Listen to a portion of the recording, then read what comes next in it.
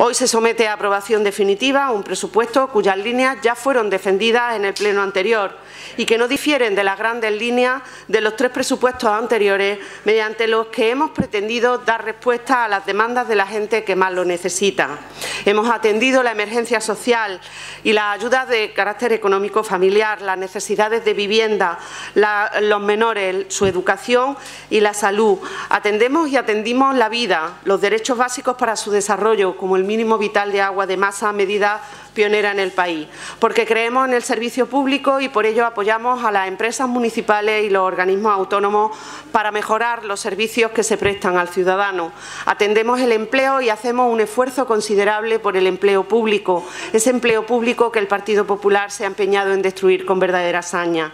Son los presupuestos de la inversión pública. En definitiva, como hemos dicho en reiteradas ocasiones, se trata de los presupuestos más sociales, más solidarios, más favorables a lo público y a la empresa pública más cercano a la ciudadanía. No existe ninguna razón para oponerse desde ese punto de vista. Solo cabe oposición cuando se defienden otros intereses y no en nuestro caso. Se aprueba así este presupuesto con carácter definitivo al no existir impedimento legal alguno, aunque existan divergencias políticas por parte de la oposición de la derecha.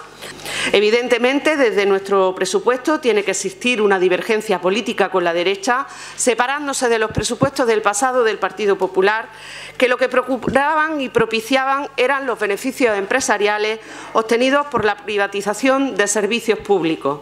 Por eso, estos son los presupuestos de la izquierda. Por eso, no nos extrañamos de que se nieguen a aprobarlo. Contamos un presupuesto de la izquierda porque efectivamente carga todo el peso en las políticas sociales, en la inversión municipal en las calles de Córdoba y en la inversión para el desarrollo económico de la ciudad. Termino, pues, como terminé el mes pasado, este es un presupuesto importante para las políticas públicas que importan, las que generan empleo, las que activan nuestra economía y las que dan respuesta y cuida a la mayoría social de la ciudad.